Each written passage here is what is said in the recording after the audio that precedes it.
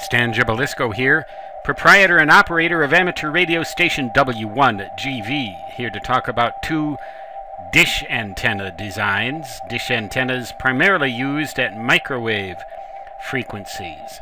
You can find information about these and other antennas, as well as various aspects of ham and shortwave radio, in this book, due out in October of 2014. I have included a link to the Amazon.com page for this book in the description of this video. Here are the designs. The conventional dish design is shown up here at A. This is figure 7 11 out of that book, right here, provided that editorial changes don't change the figure numbers or something, or chapter numbers, which can happen in publication. Here at A, we have a conventional dish antenna system. The feed line may be a coaxial line, it may even be a waveguide at uh, microwave frequencies. Some kind of a boom supports the antenna uh, feed element, which can be placed in the center of the dish like this, or slightly off center. And you've probably seen some of those, those booms that come off of one side and then the the uh, feed horn is right down here, and uh, the actual maximum then is skewed upward a little bit. Uh, those kind of dish antennas are commonly used for satellite television and satellite internet communications. Uh, the old, the more old-fashioned and probably more uh, common among radio amateurs design is right here, the feed horn in the center of the dish, like that. Uh, generally speaking, the diameter of the dish affects the gain, the directivity, and uh, the front to back ratio. And as you might imagine, the front to back ratio in an antenna like this is quite high indeed.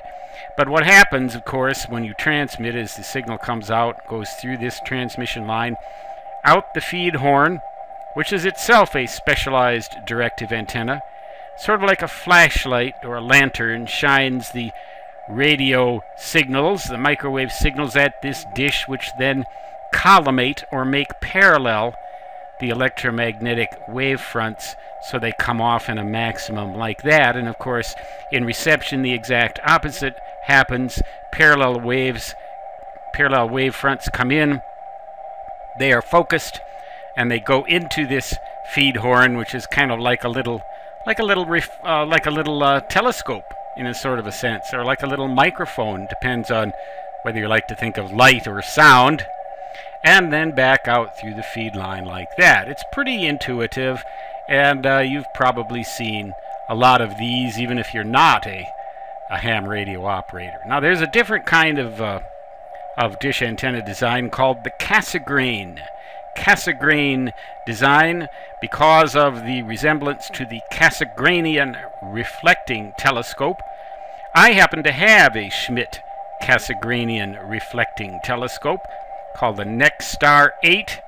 I forget exactly now who manufactures that thing, but it's a very wonderful little 8 inch Schmidt Cassegrainian reflector so that instead of a big long cylinder, you can scrunch it down so that it's about the size of a large wastebasket.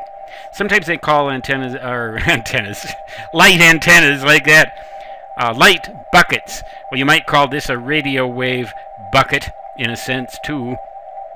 The um, you transmit, the signal goes out through the feed horn like this, which is aimed right at this convex reflecting element.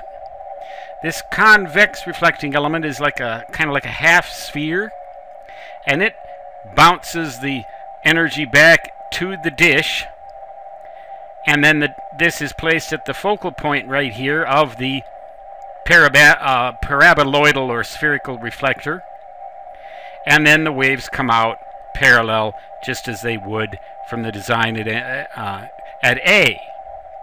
When signals come in parallel, they come back and they hit this little spherical thing, which is at the focal point, and that directs them in a beam right into this feed horn and then through your feed line down to your receiver.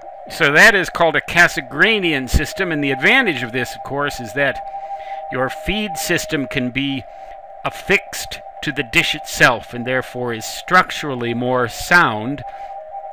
That helps, especially if your feed horn contains a little transmitter itself, which some of these satellite communications dish antennas have. Uh, dish antennas, if large enough, can also work for moon bounce, although rarely will you see a dish antenna for moon bounce at a frequency lower than 1296 megahertz in the amateur radio bands. So this is a unidirectional antenna. Uh, it should be at least several wavelengths in diameter, but the larger the diameter, all other things being equal, the more gain, directivity, and the better of a front to back ratio you will have. You can have a solid metal dish, uh, or if it's a very large dish, it can be a wire mesh or screen. You may see either type.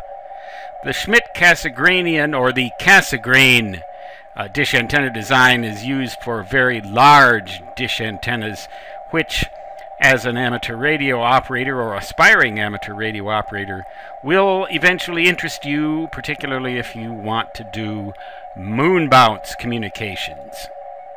Stan Gibilisco, W1GV, saying 73 for now, and so long.